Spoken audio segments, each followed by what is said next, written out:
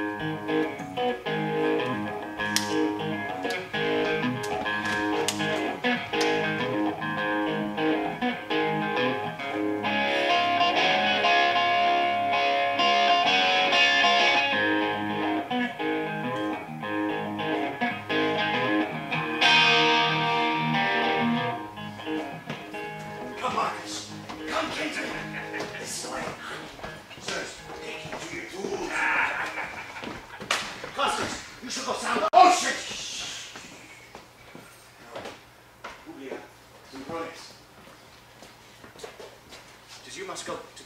region.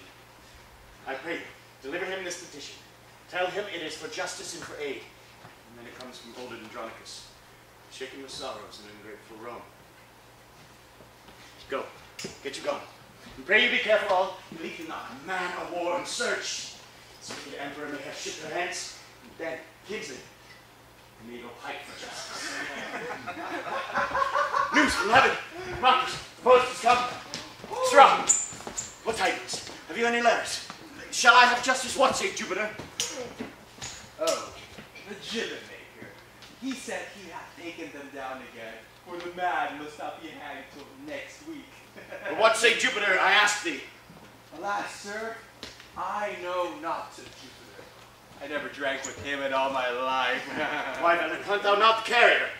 I, of my pigeons, sir, nothing else. Why did thou not come from heaven?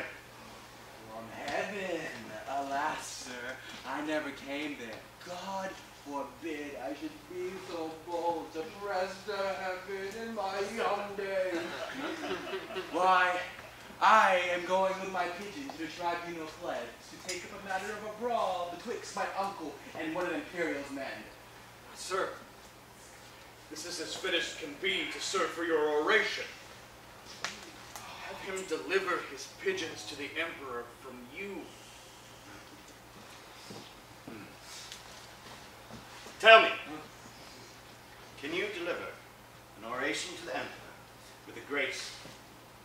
Nay, truly, sir, I never could say grace in all my life. Stand, and make no more ado. Give your pigeon up to the emperor. By me thou shalt have justice at his hand. Oh. Meanwhile, here's money for thy charges. Sirrah, can you, with a grace, deliver a supplication? Aye, sir. Then here's your supplication for you. And when you come to me, at first approach, you must kneel and kiss his feet. Then deliver up your pigeon. Then look for your reward. Be at hand, sir. See you do it bravely. Oh, I warn you, sir. Let me alone. Sirrah, hast thou a knife? Come, let me see it.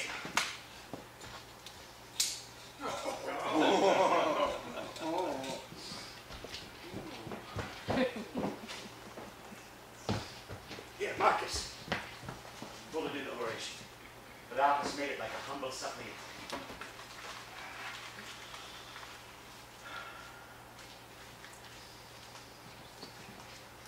And when thou hast given it the emperor, knock at my door and tell me what he says.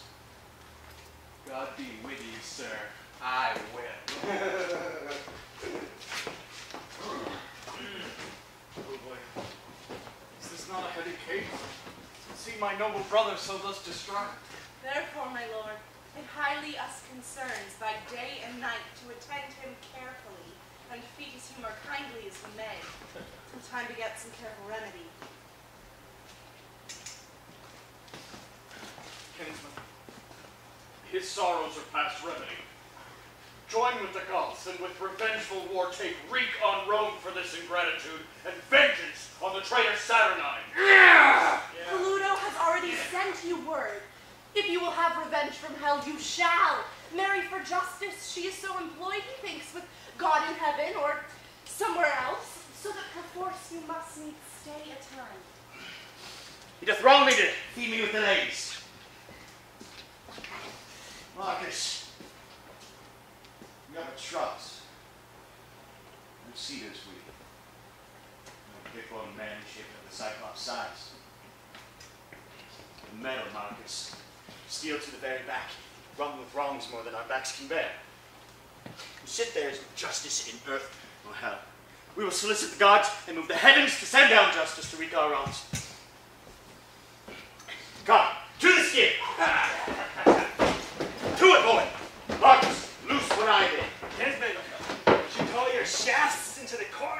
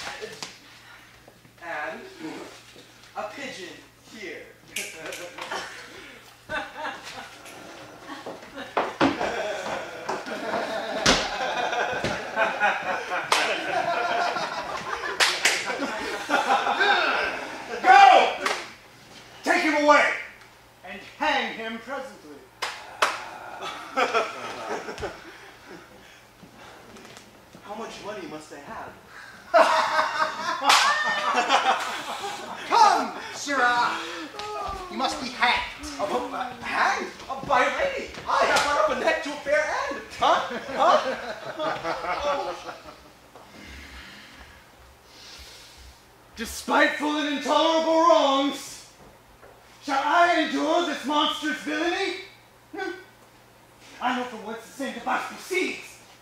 May this be borne, as if his traitorous sons had died by law for murder of our brother have by my means been executed wrongfully. Drag the villain hither by the hair! My worthy lord. My lovely Saturnine. Lord of my life, commander of my thoughts, calm thee. And bear the faults of Titus' state.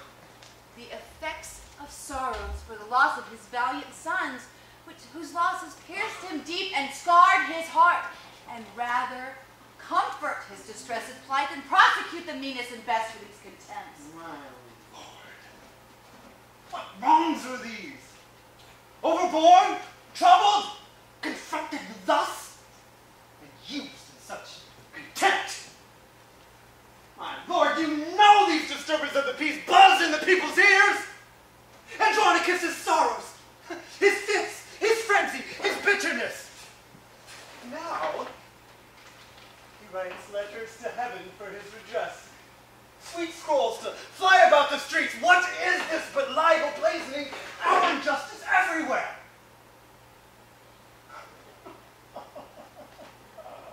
A goodly humor, is it not?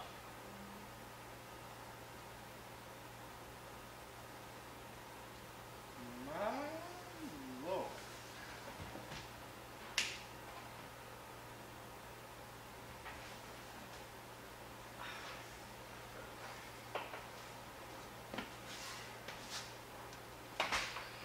But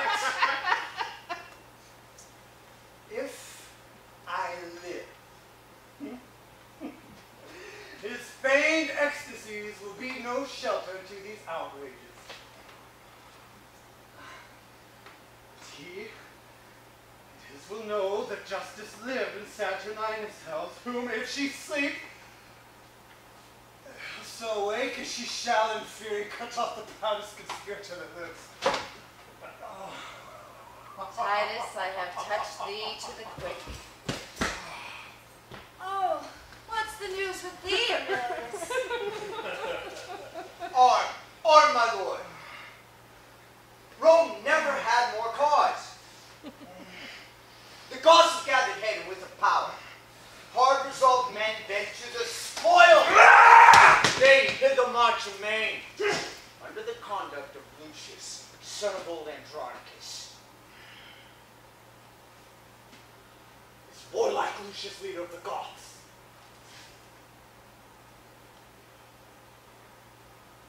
Aye.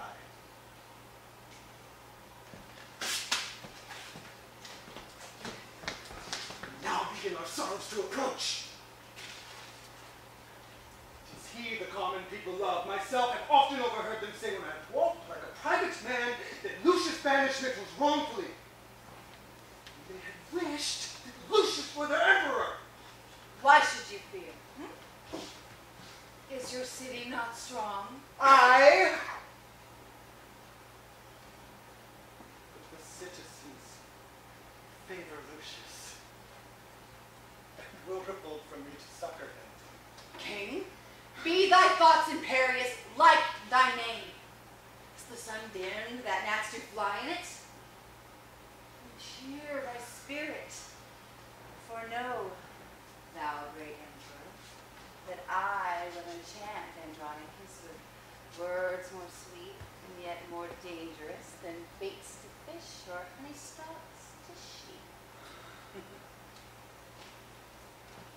But he will not entreat his son for us.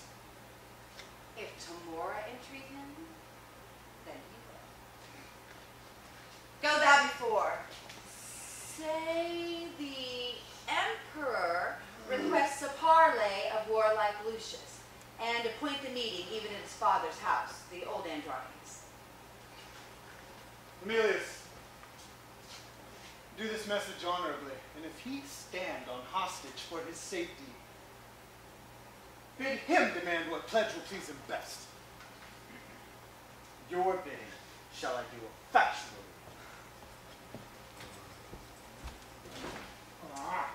will I to Andronicus to temper him with all the art I have to pluck proud Lucius from the warlike Goths. And now, sweet emperor, be blithe again. Bury all thy fears in my devices. And go successively and plead to it.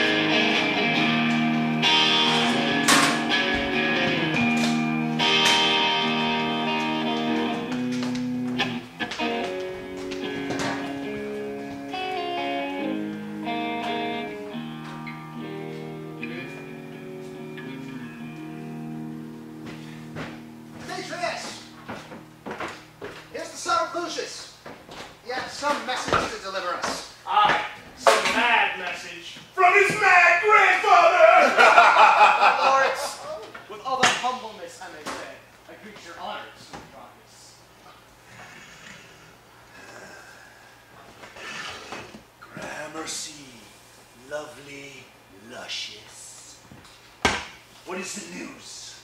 My grandsire, well advised, hath sent by me the goodliest weapons of his armory to gratify your honorable youth, the hope of all, for so he bade me say. And so I do, and so I leave you both. bloody villains! Ah, there's a scroll written round about. Let's see. scelerisque purus non eget Mauri iaculis. The man who is upright in life and free of sin has no need of more spears or a bow. Tis a verse in Horace. I know it well. I read it in the grammar long ago. Aye, just! A verse in Horace, right. You haven't. Now what a thing it is to be an ass. Here's no sound jest. The old man hath found their guilt. and sends them weapons wrapped about with lines that wound beyond their feeling to the quick.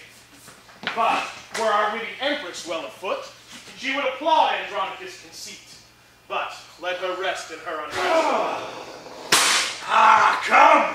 Let us go and give thanks to all the gods for our beloved mother and her pains. Pray to the devils the gods have given us over. Why do the emperor's trumpets flourish thus? Like for joy, the emperor now have a son. Soft, who comes here? More, Lord. Tell me, have you seen Aaron the Moor? Well, more or less, or narrow with it all. Here Aaron is, and what with Aaron now? Gentle Aaron, help. We are all undone. Now woe betide thee evermore. I, Why, what a caterwauling dost thou keep? What dost thou wrap and fumble in thine arms? that which I would hide from heaven's eye, our empress shame and stately Rome's disgrace. She is delivered, Lord, she is delivered. To whom? I mean, she's brought a bed. Well, God give her good joy. What hath he sent her? A devil, Then she is the devil's dam. A joyful issue. a joyless, dismal, black, and sorrowful issue. Here is the babe, as loathsome as a toad among the fairest breeders of our clime. The empress sends it thee, thy stamp, thy seal, and bids thee christen it with thy dagger's point. Sound, ye whore! Is black so base of you? Oh, sweet blouse. You are a beauteous blossom, sure. Villain! What hast thou done? That which thou canst not undo. Thou hast undone our mother. Villain, I have done thy mother. And therein, hellish dog, thou hast undone. Woe to her chance and damn her loaded choice. Accurse the offspring of so foul a fiend. It shall not live. It shall not die. Aaron, it must. The mother wills it so. What? Must it, nurse? Then let no man but I do execution on my flesh and blood. Aye. I will broach the tadpole on my rapier's point. Ah, give it me! My sword shall soon dispatch it! Sooner this sword should plow thy bowels up. Stay, murderous villains! Will you kill your brother? Now, by the burning tapers of the sky that shone so brightly when this boy was got, he dies upon my scimitar's sharp point that touches this my firstborn son and heir. What? What? Ye sanguine, shallow-hearted boys, ye white-lined walls, ye alehouse painted signs. Coal black is better than another hue, in that it scorns to bear another hue. For all the water in the ocean cannot turn the swan's black legs to white, although she lave them hourly in the flood. Tell the empress from me, I am of age to keep mine own. Excuse it how she can. Wilt thou betray thy noble mistress thus? My mistress is my mistress. This is myself, the vigor and picture of my youth. This before all the world do I prefer. This maugre all the world will I keep safe. By this our noble mother is forever shamed. The emperor in his rage will doom her death.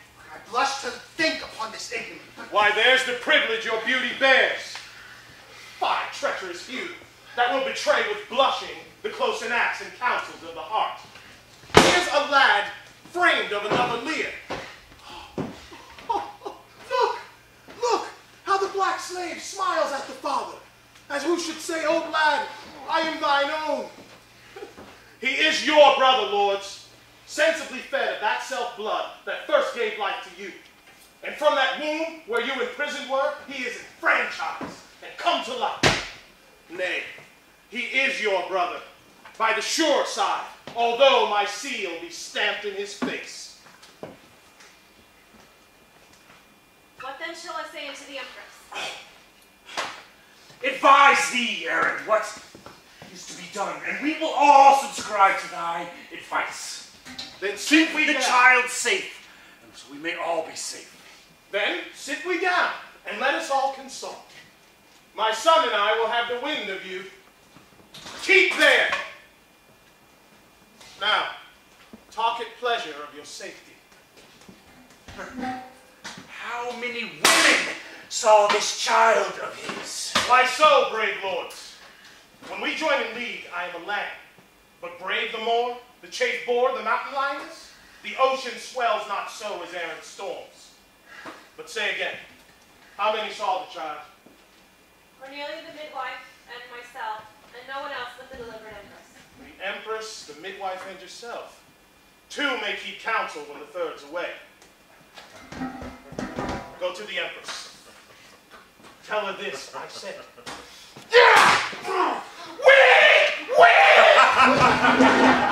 So cries a pig prepared to the spit. What meanest thou, Aaron? Wherefore didst thou this? Lord, sir, this was but a deed of policy. Shall she live to betray this guilt of ours? A long-tongued babbling gossip. No, lords, no. And you must needs bestow her funeral. Oh, the fields are near, and you are gallant grooms. This done, see that you take no longer days, but send the midwife presently to me. The midwife and the nurse well done away, and let the ladies tattle what they please. Aaron! See thou wilt not trust the air with secrets. And for this care of Tamora, herself and hers are highly bound to thee.